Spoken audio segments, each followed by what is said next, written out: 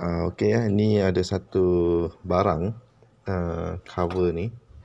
Cover ni uh, biasanya kalau body ICT ni dia crack, crack kat sini ke, pecah ke, patah ke, uh, ada satu barang yang ni yang dekat lower ni ataupun sensor ni yang tempat dia dekat dekat sini uh, dia patah sekali ya dia patah sekali.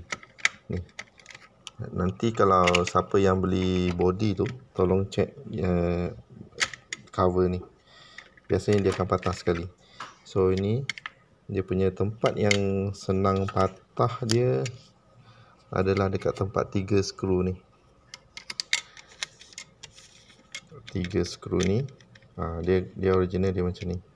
So dia akan bulat dan skru tu dia akan cabut so kalau yang ok punya uh, dia ada lagi tapak skru tu lah senang patah.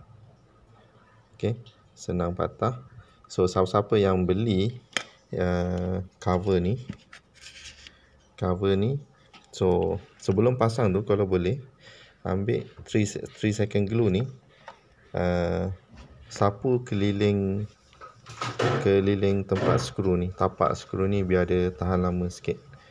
Ha, ni ni tempat yang senang patah lah. So sapu ambil 3 second glue ni jangan banyak-banyak lah. Sekadar dia melekat je ha, so supaya dia boleh tahan lama sikit lah cover ni.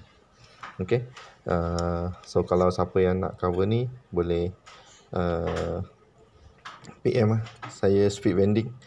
Uh, untuk dapatkan cover ni So cover ni agak mahal juga eh sebab tu saya beritahu uh, cara dia nak nak nak tu tolong yang ni lah tolong uh, uh, pasang glue ni supaya dia boleh tahan lama sikit.